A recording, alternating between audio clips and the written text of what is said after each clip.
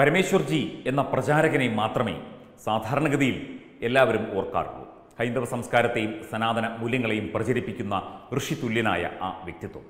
പക്ഷേ അദ്ദേഹത്തിന്റെ കവിത്വം അദ്ദേഹത്തിന്റെ അക്ഷരങ്ങൾ അദ്ദേഹത്തിന്റെ ഭാവന കാൽപ്പനികത ഇതൊന്നും അങ്ങനെ പുറത്തു വന്നിട്ടില്ല. യജ്ഞപ്രസാദം എന്ന പേരിൽ അദ്ദേഹത്തിന്റെ രചനകൾ പുറത്തു വന്നു എങ്കിലും വയലാർ രാമവർമ്മയെ കവിതാരചനാ മത്സരത്തിൽ തോൽപ്പിച്ചുകൊണ്ട് ആ അക്ഷരത്താളുകളിലൂടെ സഞ്ചരിച്ചു.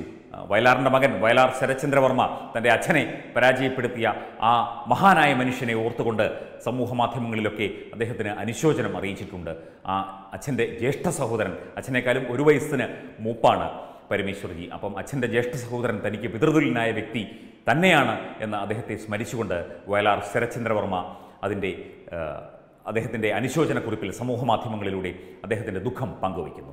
അദ്ദേഹത്തിന്റെ എഴുത്തുകളെല്ലാം തന്നെ അക്ഷരങ്ങളെല്ലാം തന്നെ ആയിരക്കണക്കായ ലക്ഷക്കണക്കായ സ്വയംസേവകർ ഗണഗീതങ്ങളായി എത്രയോ കുറി ഏറ്റുപാടിയിട്ടുണ്ട്.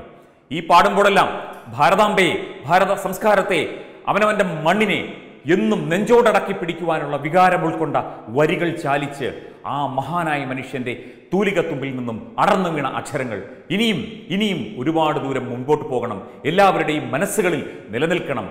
മനസ്സിൽ ഒരു സംഗീതമായി മനസ്സിൽ കുളിർമഴയായി ആ ദേശസ്നേഹത്തിന്റെ ദേശസ്നേഹം തുളുമ്പുന്ന വരികൾ നമ്മുടെ എല്ലാ മനസ്സുകളിൽ ഇന്നും അകലയല്ല പൊന്നുഷസിൻ സുഖതമാം പ്രത്യാഗമം. ഇരുൾ മറച്ചൊരു സൂര്യ തേജസ്സൊളി പരത്തും ശുഭദിനം.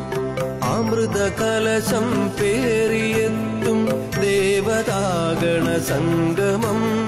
വരിക കൂട്ടായാദിമഹസിൻ പൊൻരഥം വരവേൽക്കുവാൻ.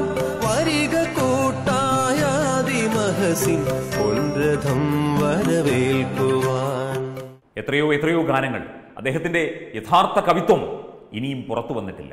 ഇനിയും ആ തൂലികത്തുമ്പിൽ നിന്ന് അക്ഷരങ്ങൾ അടർന്നു വീടില്ല. എന്നാലും ആ അടർന്നു വീണ അക്ഷരങ്ങളെല്ലാം പെറുക്കിക്കൂട്ടി ആ ഹൃദയത്തോട് നമ്മൾ ചേർത്ത് പിടിച്ചിരിക്കുന്നു. അദ്ദേഹം സത്യം പറഞ്ഞാൽ അദ്ദേഹം ആ കവിതയിലേക്ക് കവിത കവിതാരചനയിലേക്ക് കുറെ കൂടി ശ്രദ്ധ കേന്ദ്രീകരിച്ചിരുന്നുവെങ്കിൽ എത്രയോ മഹത്തായ അക്ഷരങ്ങളും വരികളും ഇന്നും തൂലിക അദ്ദേഹത്തിന്റെ തൂലികത്തുമ്പിൽ നിന്ന് നടന്നു വീണ ആ അക്ഷരങ്ങൾ ഇന്നും ഒരു ഹൃദയ പുസ്തകമായി നമുക്കൊക്കെ സൂക്ഷിക്കാമായിരുന്നു. എങ്കിലും ആ രചന വൈഭവത്തിന് മുന്നിൽ ശിരസ് നമിക്കുന്നതിനൊപ്പം ആ അദ്ദേഹത്തിന്റെ ആ ജീവിതചര്യ അദ്ദേഹത്തിന്റെ ജീവിതചര്യയിലൂടെ മുമ്പോട്ട് പോയി. അതുകൊണ്ടായിരിക്കാം അദ്ദേഹത്തിന് ഒരു വേള എഴുത്തിലൊന്നും ശ്രദ്ധിക്കാൻ അധികം ശ്രദ്ധിക്കാൻ സമയം കിട്ടാത്തത്. ആ വാക്കുകൾ ആ സ്വപ്നങ്ങൾ ആ ചിന്തകൾ എല്ലാം നമുക്കെല്ലാം ഭാരതീയർക്കെല്ലാം ഒരു പ്രചോദനമാണ് നമ്മയെല്ലാം മുമ്പോട്ട് നയിക്കുന്നത്. അതൊക്കെ തന്നെയാണ്. Web desk Tatwamayi news.